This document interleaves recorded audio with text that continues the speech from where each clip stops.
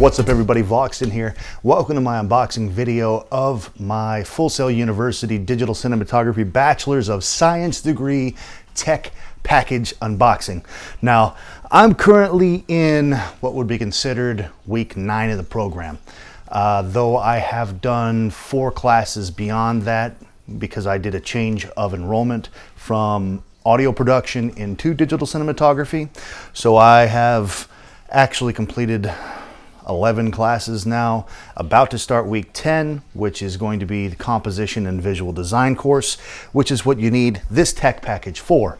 So if you guys are looking about going to Full Sail and wondering when you're gonna get your camera, your tripods, all your equipment, it will be sometime, see mine was the last week of month nine. So the final week of script writing techniques. Uh, this is Wednesday. It was scheduled to be delivered on Thursday and my cat, you might see him in the picture here. Let me slide this over here.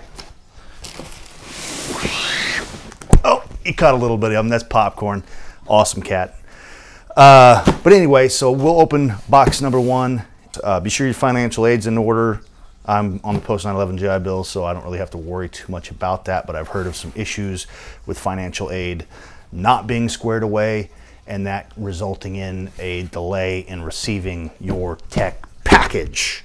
All right, let's get to it. All right, guys, so when I got to the FedEx facility, I had to actually do a quick invoice of this box and only this box because the seal, the tape seal was broken and it's recommended that before you sign for your packages when they come from Full Sail University to if the seal is broken open it up there's a manifest inside and you bounce the contents that are on this sheet of paper off of what's actually in the box to ensure that there was no tampering with the actual contents.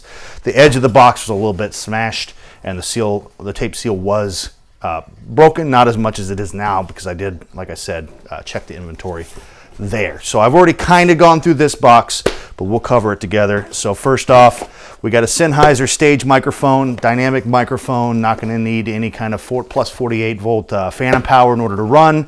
Uh, XLR to XLR, so this will plug directly into the camera depending on how long of an XLR cable you have and you could use it for interview style content if you're talking to somebody or run and gun or doing a, a sit down table interview then this is a microphone that you could use to plug directly into the camera's XLR microphones, Sennheiser Evolution 600 slash 800 series dynamic stage mic.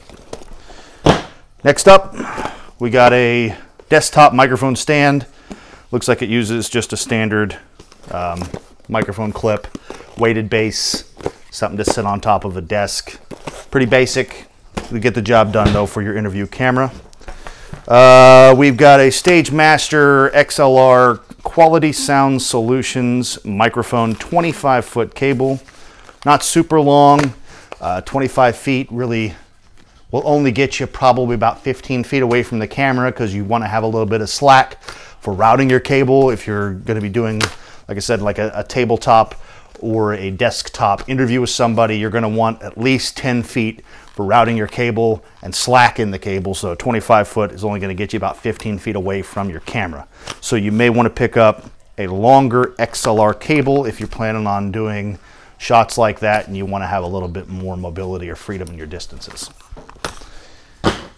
All right, these ones are gonna be a little bit, oh, hold on, we got one more small one in here. We've got a USB-C to SD card reader. Uh, this is because in month four, when you receive your initial tech package, you get your MacBook Pro, you get software, you get other knickknacks. Well, the MacBook Pros, the 2018 and beyond MacBook Pros, only have USB-C ports. So anything you connect to it, whether that's a memory card, mouse, keyboard, anything, if it's not wireless through Bluetooth, you're going to need to have a converter to go from USB-C into USB or you won't have any connectivity. So that'll come in handy. Next up, we got the Westcott lighting kit and I will break this open and actually set up the lighting so you guys can see it in action at the end of the video. So stay tuned and we will go through and set this bad boy up. Next up, we got a case for the Westcott lighting. And I've watched a lot of videos, so I already know that the reason for the heft, there's a goodie inside. So we get the Westcott lighting bag that will be used for lugging around all of the actual lighting kit. And inside the Westcott lighting bag is our Manfrotto tripod that actually has a glide head on it, so you'll be able to get those smooth panning shots uh, for those cinematic pans. Very awesome, good to have. Uh, pretty good quality case. We got some dividers in there for the lighting, shoulder strap. That'll come handy for any kind of remote sets or anything that we'll have to do. So, not a bad little bag. All right, next box. Haven't broken the seal yet on this one, so we'll just kind of rip into it. And uh, per the actual side of the box, uh, let me see if you got one on that side. Sony FS5 M2K pack. So that told me right away that the between the two boxes, the one that was damaged was not going to be the extremely high valued box that contains the camera. So that was a bit of relief when I saw which box it was that actually had the slight damage to it, nothing serious. And everything inside that box, other than the lights themselves, were very sturdy, and we'll test those lights out when we get to that point.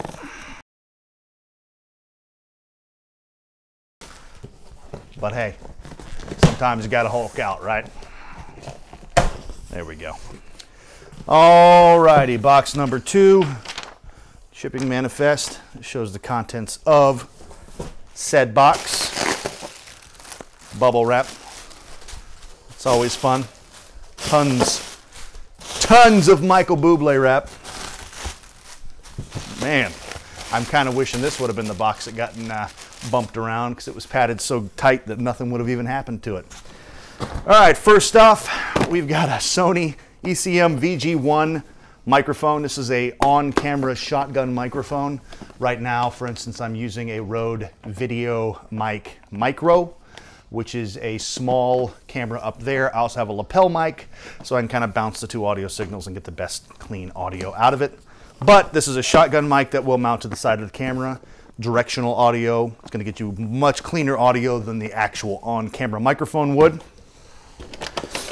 We got a pair of opened professional 7502s, um, MDR 7502s, Sony branded headphones uh, used for on the fly monitoring or active monitoring. This is something you'd be able to plug into any kind of audio recorder or plug into your actual camera and monitor your audio levels on the fly to make sure you're not getting any kind of audio peaking or any kind of issues with clipping or, or anything like that on your audio source. Next up, we got a Portabrace brand camera bag. Uh, you know, feels like vinyl. Got some suede grips on the handle. Uh, looks like we got an actual little flashlight, little carabiner or something on the handle that you can hook up. Lots of pouches, lots of storage space. Uh, inside we've got a little Portabrace bag and a little Portabrace brace clippy board and some dividers, um, shoulder strap, suede shoulder strap, and uh, some nice padding inside. Nice little bag, it'll definitely get the job done. Inside here, yep, it is in there. We've got, if you need to see, we got a memory card. What up, Mr. Popcorn? What you doing, man? Uh, memory card, Sony brand, 95 meg per second, uh, 4K capable, 64 gig memory card. You know, I honestly probably won't even use this unless it's a backup. I like to match brands and sizes on all my memory cards, and I will be buying a handful of 64 gig SanDisks. The new SanDisks have the 90 meg transfer rate for recording and 170 meg transfer rate for actually transferring the data to a device, and they're only like $20.94, I believe. I'll throw a link down on Amazon to the SanDisk ones that I'm planning on buying in bulk.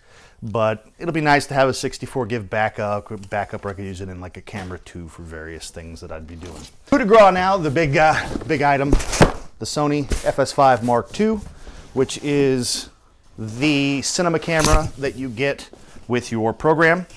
This is what a lot of people really do look forward to in this program. So first item, course, I can already tell just by feeling, this is your monitor. And a lot of people will recommend external monitors or external recorders, which I do plan on getting an Atomos Shogun 7 recorder, the one that was just announced back at the last NAB. Uh, but that way I can record in ProRes RAW, higher frame rates, and get some more quality video. There's your on-camera monitor. This will be the side grip. A lot lighter than I expected. I haven't actually handled the Sony FS5 Mark II yet, um, but it's very, very lightweight. I mean, almost to the point of fragility or frailty is uh, it feels like it's very solid construction. I'm going to loosen the holy holy bejeebus out of this because I've got some pretty monster hands. It's probably not even quite big enough, but it's very very light. Extremely light, not even a pound, not even a half pound even really it feels like. Good response on all the buttons and controls. I like it. Good build quality. So but it, it's definitely lighter than I thought it was going to be. Uh, so here we got the lens. The kit comes with an 18 to 105 millimeter lens. It is a steady f4, f-stop 4, so it's not the best for low light, but it's definitely not bad, but it's not a slouch by any means. Uh, but that's a, a really wide range of focal lengths, 18 millimeter to 105 millimeters, so you can get yourself a lot of shots. It's just your low light will be a little bit handicapped. The Sonys have good low light functionality, but going with like an f2.8 or maybe an f1.8 or f1.4 prime, you're getting a lot better low light performance, but it's definitely one of the better kit lenses I've seen from most cameras. For instance, uh, the kit lens on the camera I'm recording this with, which is a Canon EOS M50, is a 15 to 45 millimeter kit lens with a varying f-stop of like, it might be 4.0 to like 5.6, somewhere around there. So it's even worse in low light than this would be. But I mean, a lot of times kit lenses are designed to be entry level, get the job done until you get something nicer. But this is something I could see keeping in your kit for a while. Uh, lens hood, blocking the sun or dust or rain, whatever you need to block out from getting on your lens. You got a eyepiece and it looks like a hot shoe. Eyepiece, obviously we'll go over the eyepiece and then you'll, you know, put it on. And this looks like some kind of hot shoe slider. Check that out when I get the actual body out. Uh, charging cable. We've got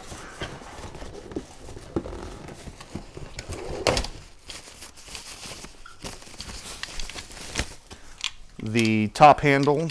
It's like spring-loaded um, thumb screws, which is nice. A lot of cable routing stuff. Function buttons. We've got, looks like a zoom function and record function on top as well as our standard hot shoe up here.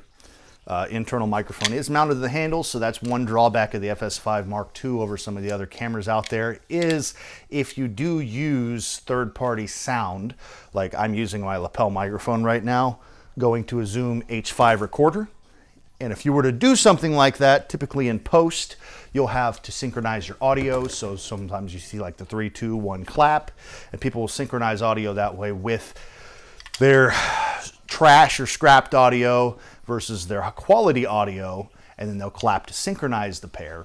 Um, without the in-body microphone, which is only mounted to this, you must mount this to your camera or you're going to miss out on being able to synchronize easily and you're gonna have to go through and fine tune and slide it by fractions of a millimeter at a time kind of thing in order to actually uh, synchronize your audio. So we got our battery charger, big and beefy. Um, battery, BPU 30, I believe.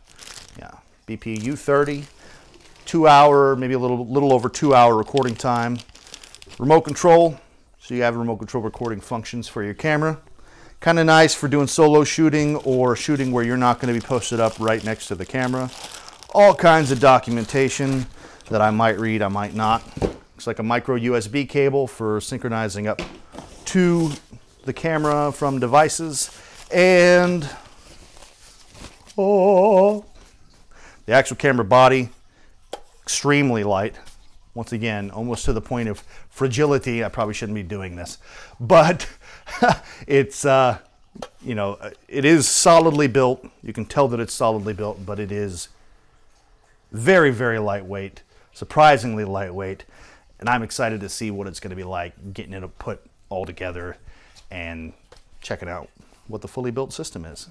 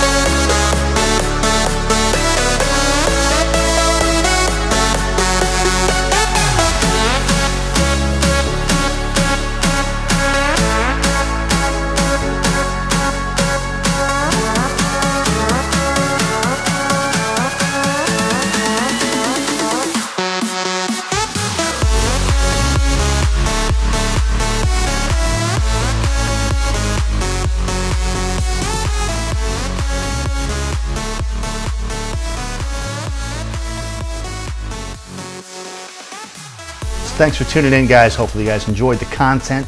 If you did, be sure to like, comment, and subscribe. If there's any questions you have about attending Full Sail University, anything class specific that you want to know, if you want to know why I switched from audio production into digital cinematography, I'm more than happy to answer those questions for you. And just if you want to see some specific type of content on here with the new camera or, or otherwise, let me know. Thanks for tuning in. I'll see you in the next one. Peace.